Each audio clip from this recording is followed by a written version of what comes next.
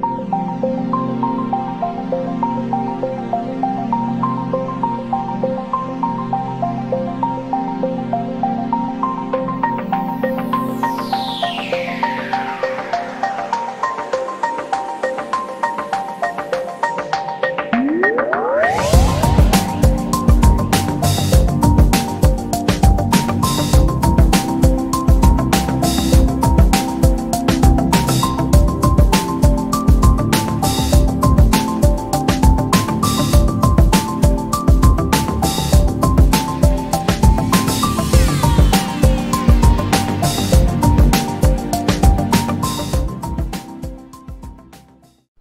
Ancient cultures shared the belief that we came from the stars.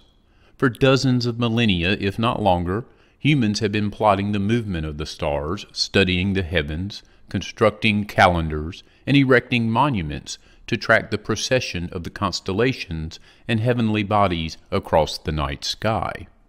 Several constellations and stars have played an important role in ancient cultures and the belief of the celestial origins of our species. In the places where these legends emerge, we find structures that correlate with the position of the stars and constellations in the sky. And, perhaps the most prevalent of all these correlations is with the Orion constellation. The constellation of Orion is one of the most prominent and recognizable constellations in the sky, as its location on the celestial equator allows it to be seen all over the planet named after the Greek demigod Orion in the 8th century BC, when connected, the stars form the head, shoulders, belt, and feet of a man, and according to Greek history, Orion was a giant born with superhuman abilities.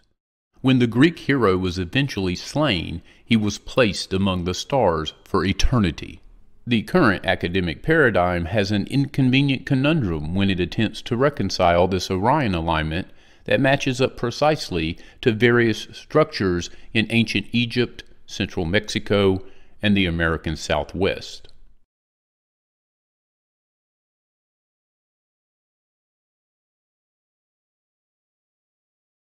The Orion correlation theory was put forward by Robert Bauval, who noted that Mintaka, the dimmest and most westernly of the stars making up Orion's belt, was offset slightly from the others. Bauval then made a connection between the layout of the three main stars in Orion's belt and the layout of the three main pyramids in the Giza Pyramid complex. He published this idea in 1977 in the journal Discussions in Egyptology, Volume 13. The idea has been further expounded by Bauval in collaboration with Adrian Gilbert in the book The Orion Mystery from 1994.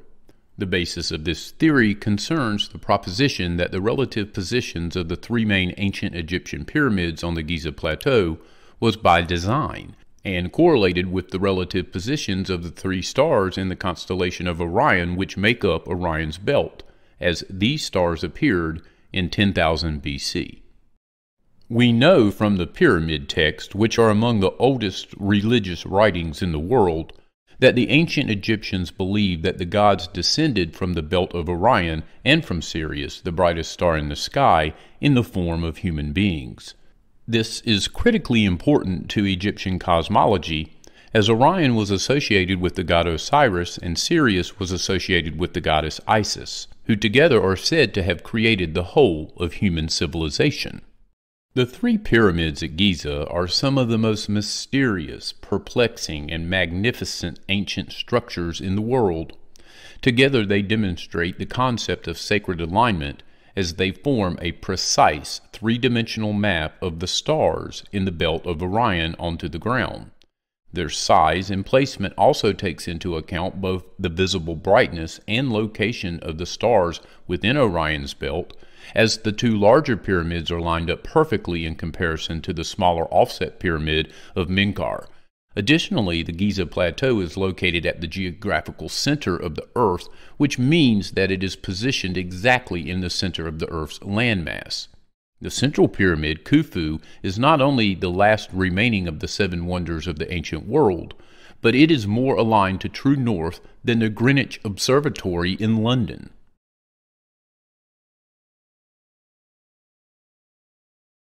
Professor Emilio Spedicato offers an alternative approach to the one of Bauval and Gilbert. He argues that there exists a better fitting alignment with three volcanoes on Mars and that they were visible from Earth between 7000 and 700 BC. The volcanoes' names are Ascraeus Mons, Pavonis Mons, and Arsia Mons.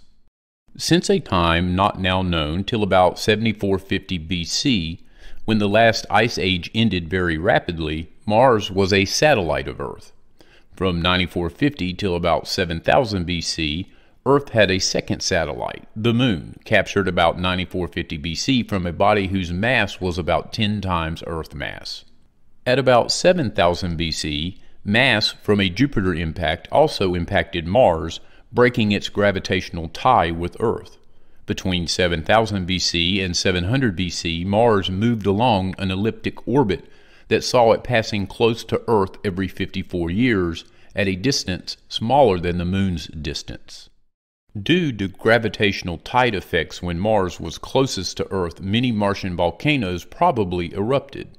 Assuming that the close passage stimulated eruptions, the volcano's fire and smoke, well visible from our planet, would have made a terrifying event for the observers.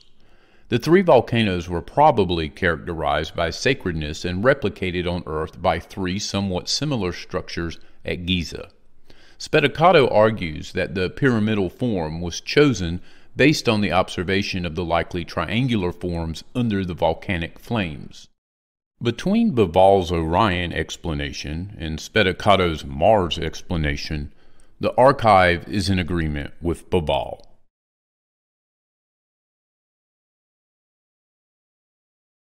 If we move 500 miles south of Cairo, we will find on a desolate plain in the eastern region of the Sahara Desert the mysterious archaeological site known as Nabta Playa. Discovered by a team of scientists in 1974, researchers believe the stones scattered here were once part of a vast ritual center for ancient civilization that thrived from 6400 to 3400 BC, just before the rise of the Egyptians. But Nabta Playa is different. It wasn't a settlement. One of the centerpieces is a circle that has been called the mini Stonehenge of the desert. For more than three decades, this circular stone structure and its intricate alignment to the stars of the Orion constellation have baffled archaeologists. The builders of Nabta seem to be aware of a level of physics and understanding of mathematics that allowed them to build these structures in relation to the Orion constellation. Robert Bauval and astrophysicist Thomas Brophy have studied this configuration of this mysterious monument for more than 10 years. In their book Black Genesis, they suggest the stone circle is a star viewing diagram that aligns with the belt stars of Orion at the summer solstice. The calendar circle is the smaller stone arrangement, and the calendar circle represents a diagram that teaches how the sky moves long term. According to mainstream scientists, radiocarbon dating indicates the site was constructed nearly 7,000 years ago. Taking this time frame into account, Brophy studied the positioning of the gates and the center stones and discovered that it was then, in 4900 BC, when three of the center stones lined up precisely with the three of the brightest stars in the constellation of Orion.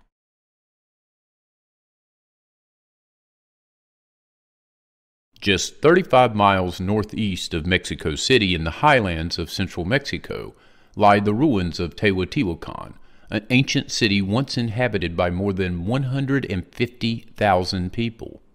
Researchers believe the impressive structures here, including two large pyramids and a temple, were built in the 2nd century BC, and like the Egyptian pyramids of Giza, the monuments point directly to the three stars of Orion's belt.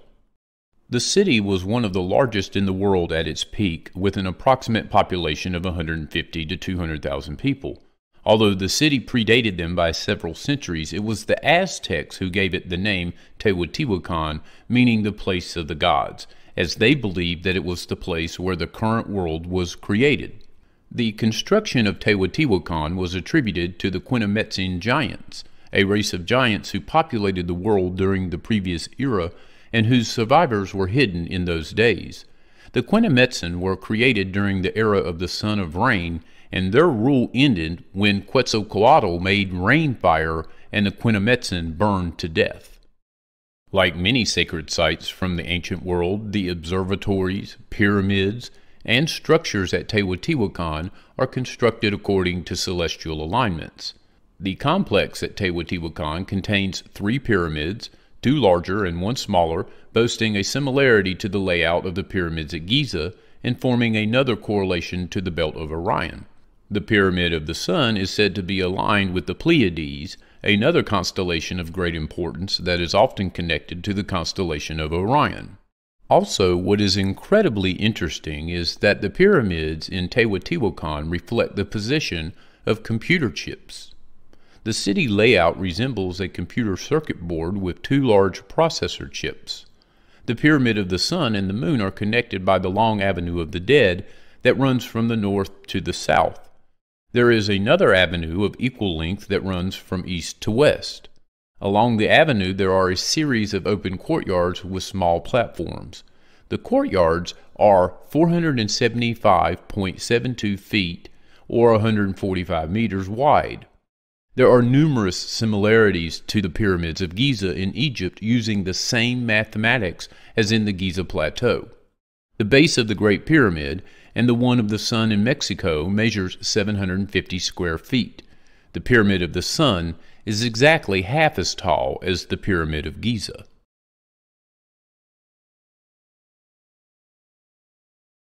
The Hopi are a Native American tribe whose cosmology, monuments, and landscape have a deep connection with the constellation of Orion.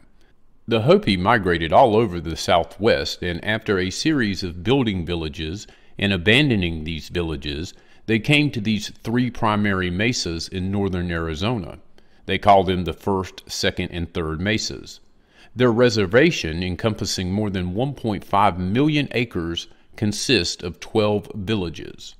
In his book, The Orion Zone, researcher Gary David shows that the constellation of Orion provides the template by which the Anasazi, the ancestral Hopi, determined the locations of their villages during a migration period that lasted centuries. He posits that the Hopi were spiritually mandated by a god called Masao. The natural structure of these three mesas mirrors the three stars in the belt of Orion, and it is said that this is why the Hopi chose to settle in this location. They believe this place to be the center of their universe where they can make contact with the gods. Furthermore, when connected to other Hopi monuments and landmarks around the southwest, the collective sites are said to map the entire constellation of Orion. Mintaka, a double star and the first of the Trinity to peak over the eastern horizon as the constellation rises, corresponds to Oraibi and Hotevilla on the third mesa. The former village is the oldest continuously inhabited community on the continent, founded in the early 12th century. About seven miles to the east, located at the base of the second mesa, Old Shungopovi was reputedly the first to be established after the Bear clan migrated into the region around 1100 AD. Its celestial correlative is Alnilam, the middle star of the belt. About seven miles farther east on the first mesa, the adjacent villages of Walpi, Sichomovi, and Hano, the first of which was established prior to 1300 AD, correspond to the triple star Alnitak rising last of the three stars of the belt. Nearly due north of Oraibi at a distance of just over 56 miles is Betatakin Ruin, while about four miles beyond Sil Ruin. Located in Navajo National Monument, both of these spectacular cliff dwellings were built during the mid 13th century. Their sidereal counterpart is the double star Rigel, the left foot or knee of Orion. Due south of Oraibi, approximately 56 miles, is Homolovi Ruins State Park, a group of four Anasazi ruins constructed between the mid 13th and early 14th centuries. These represent the variable star Betelgeuse, the right shoulder of Orion. 47 miles southwest of Oraibi is the primary Sinagua ruin at Wupatki National Monument, surrounded by a fewer smaller ruins. Built in the early 12th century, their celestial counterpart is Bellatrix, a slightly variable star forming the left shoulder of Orion.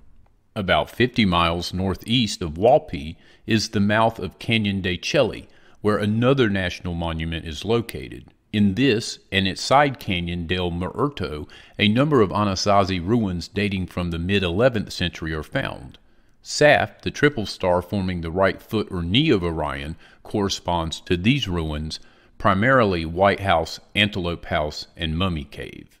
If we conceptualize Orion not as the rectangle but as a polygon of seven sides, more specifically an hourglass, appended to another triangle whose base rests on the constellation's shoulders, we see the relative proportions of the terrestrial Orion coincide with amazing accuracy. The apparent distances between the stars as we see them in the constellation and the distances between these major Hopi village or Anasazi ruin sites are close enough to suggest that something more than mere coincidence is at work here. When analyzing the Egyptian, Mesoamerican, and Hopi cultures, what we find is the same story told in different ways in different languages across different ages. It is a story of visitors from the stars that came to Earth and essentially jump started human civilization. What is incredible is not only that a great many of these stories, legends, and tales focus on the constellation of Orion, but Evidence of such beliefs is found in some of the most impressive ancient structures around the world.